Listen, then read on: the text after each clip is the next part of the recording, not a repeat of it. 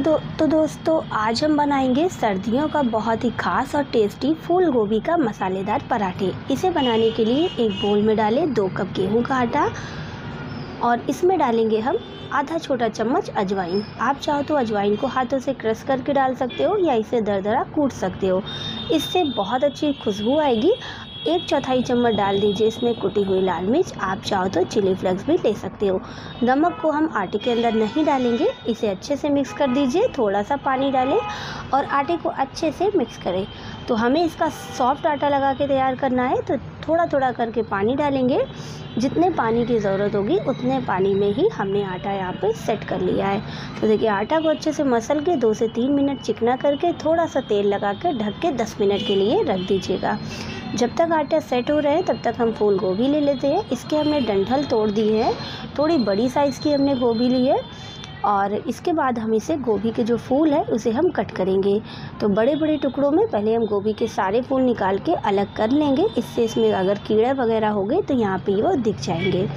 तो देखिए, इसी तरीके से सारी गोभी हमने निकाल के इसके फूल अलग कर लिए हैं। एक बर्तन में हमने गैस पर पानी गर्म होने के लिए रख दिया है। गर्म पानी में डालें एक चौथाई चम्मच हल्दी, एक चौथाई चम्मच नमक। नमक और हल्दी डालने से गोभी के अंदर जितने भी कीड़े होंगे, पानी में जाने के बाद सारे कीड़े पानी के ऊपर आ जाएँगे। जब पानी गर्म हो जाए तो सारी गोभी को इसमें डाल दीजिए, उसके बाद आप गैस को बंद कर दीजिए। और तीन से चार मिनट गोभी को गर्म पानी में रहने दीजिएगा। उसके बाद हम इसे निकाल कर किसी भी छन्नी में निकाल लेंगे और गोभी को ठंडी कर लेंगे। तो देखिए, गोभी यहाँ पे चार मिनट तक पानी के अंदर यहाँ पे हमने छोड़ दिया था। इसके बाद हम जो है, अब इसको हम दूसरे छन्नी में निकाल लेंगे ताकि इसका सारा पानी निकल जाए और ये ठंडी हो जाए।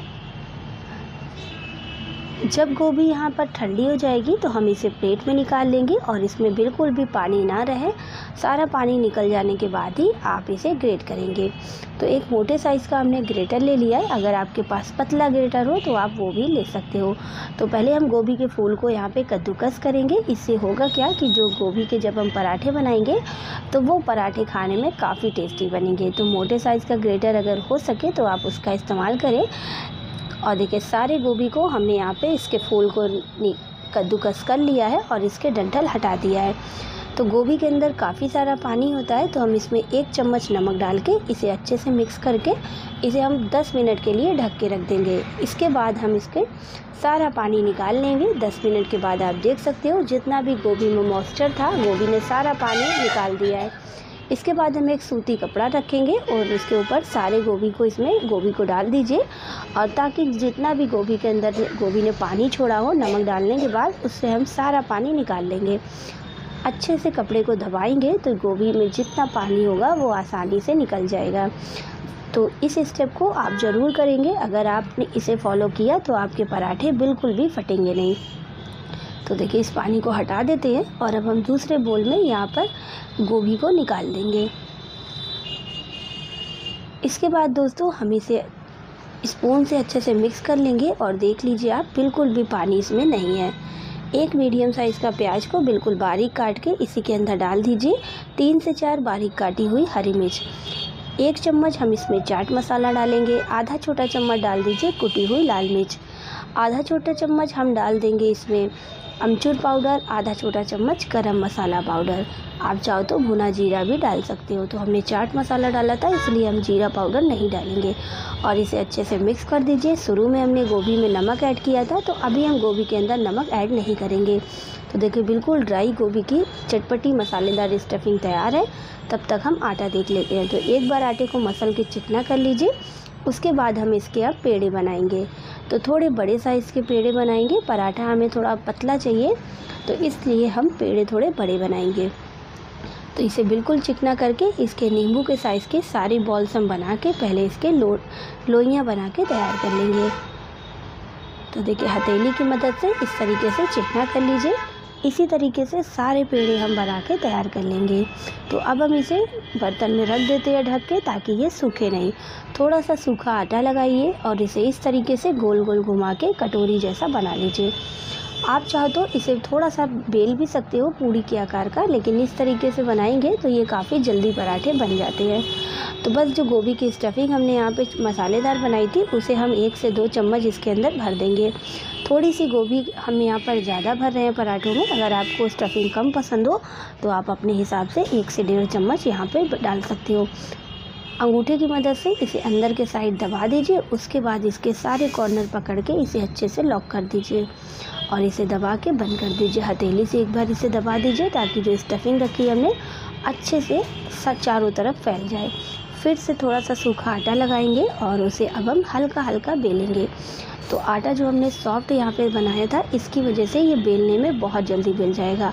और हल्के हल्के हाथों से जब आप पराठा बेलेंगे तो वो बिल्कुल भी फटेगा नहीं। अगर ज़रूरत पड़े तो बीच में आप थोड़ा सा सूखा आटा लगा के इसे फिर से बेलना स्टार्ट करें। और देखिए, जैसे हम आपको बना के दिखा रहे हैं, इसी तरीके से आप भी पराठा बनाएँ तो बिल्कुल भी आपके पराठे फटेंगे नहीं। तो देखिए, गोभी का पराठा बिल्कुल बढ़िया से हमने एकदम पतला सा बेल लिया है। और आप देख सकते हो, यहाँ पर जो हमने स्टफिंग डाली थी, वो पराठों के ऊपर साफ़ से दिख रही है। और इसे निकाल के प्लेट में रखते हैं और इसके बाद हम आपको दूसरा पराठा बना के दिखाते हैं। तो फिर से लोई के ऊपर थोड़ा सा सूखा आटा लगाएँगे और इसे कटोरी जैसा बना लीजिए। उसके बाद हमने जो मसालेदार स्टफिंग गोभी की बनाई थी, उसे हम एक से दो चम्मच इसमें भर देंगे। अगर आप स्टफिंग ज़्यादा खाना पसंद करते हो तो आप तीन चम्मच भी इसे भर सकते हो। और देखिए, इसके बाद हम इसे इस तरीके से अंदर की तरफ़ दबा देंगे ताकि स्टफिंग बाहर ना निकले और सारे कॉर्नर्स पकड़ के इसे अच्छे से बंद करके घुमा दीजिए और इसे चिपका दीजिए। अगर आटा एक्स्ट्रा हो तो आप इसे हटा भी सकते हो। हथेली से इसे दबा दीजिए ताकि चारों तरफ़ स्टफिंग अच्छे से फैल जाए। थोड़ा सा सूखा आटा लगा लीजिए और इसे हल्के हल्के हाथों से बेलना शुरू करें। जब आप हल्के हल्के हाथों से पराठे को बेलेंगे तो पराठे आपके कभी भी फटेंगे नहीं। और देखिए, इसी तरीके से सारे पराठे आपको बेल के शुरू में तैयार कर लेनी है। और देखिए, एकदम पतला पराठा और आप देख सकते हो जो हमने गोभी डाली थी, यहाँ पर वो साफ़ से आपको दिख रही है। तो इसे भी बना के प्लेट पे रख लीजिए। अब हम आपको इसे बना के दिखाते हैं। तो सभी पराठे को हमने यहाँ पे बना लिया है और इसके बाद हम एक तवे पे डालेंगे। यहाँ पे पर एक पराठे को डाल देंगे। जब तवा गर्म हो जाएगा तो आप पराठे डाल के उसे पलट दीजिए। जब एक तरफ़ पक जाए तो उसके बाद आप तेल, घी, बटर जो भी लगाना चाहते हो, यहाँ पे आप उसे लगा सकते हो। और स्पून से हम यहाँ पे इसे लगा रहे हैं तो आप अगर बटर खाते हो तो आप इसमें बटर भी लगा सकते हो। एक तरफ़ इसे हल्का सा प्रेस करके सेक लीजिए। इससे होगा क्या? दबा के जब आप पराठों को सेकेंगे तो इसके ऊपर कलर काफ़ी बढ़िया आता है और पराठे सभी तरफ़ से पकते हैं, कहीं से कच्चे, कहीं से पके नहीं रहते। इसी तरीके से इसे पलट देने के बाद दूसरी तरफ़ भी घी लगा दीजिए और इसे अलट पलट के मीडियम टू हाई फ्लेम पे पराठों को सेक लीजिए। तो यहाँ पे एक से डेढ़ मिनट में ही ये पराठे बन जाते हैं और देखिए कितना बढ़िया सा कलर आया है। सभी तरफ़ से पराठे भी पके हैं हमारे और देखने में भी काफ़ी टेस्टी और स्वादिष्ट लग रहा है। तो हमने जो गोभी की स्टफिंग डाली थी, वो आपको साफ़ देखने को मिल रही है। कितनी बढ़िया भरवा पराठे हमारे गोभी के बने हैं। तो बस एक पराठा बनाकर हमने प्लेट में रख दिया। इसी तरीके से दूसरे पराठों को भी डाल दीजिए। जब एक तरफ़ पक जाए तो उसे की तरफ़ भी घी लगा दीजिए। एक साइड घी लगाने के बाद इसे हल्का सा प्रेस करें और उसके बाद जब एक तरफ़ पक जाएगा, इसे हम दूसरी तरफ़ पलट देंगे। गर्मा गर्म गोभी के पराठे, दोस्तों, किसे नहीं पसंद? आप भी इसी तरीके से बनाएँगे ना तो आप भी कहेंगे कि वाह, क्या पराठे बने हैं। जब भी सुबह में आपको गोभी का सीज़न है, आप सुबह सुबह पराठे खाने का मन करे तो आप इसी तरीके से गोभी के गर्मा गर्म पराठे बनाएँगे तो ये खाने में काफ़ी टेस्टी लगते हैं। और देखिए, दोनों तरफ़ से कितना बढ़िया सा कलर भी आ गया है। इसी तरीके से हम अपने सारे पराठों को पहले बना लेंगे। और तैयार कर लेंगे। तो गर्मा गर्म दोस्तों लीजिए, गोभी के पराठे तैयार है हमारे बन के और आप इसे अपने पसंद से किसी भी सॉस, चटनी, अचार के साथ खाएँ। वैसे तो मुझे मोमोज़ चटनी के साथ ये बहुत पसंद है। आप चाहो तो इसे सेजवान चटनी के भी खा सकते हो या बिना चटनी के भी सर्व कर सकते हो। रेसिपी अच्छी लगी है तो प्लीज़ हमारे वीडियो को लाइक, शेयर और हमारे चैनल को सब्सक्राइब ज़रूर करिएगा।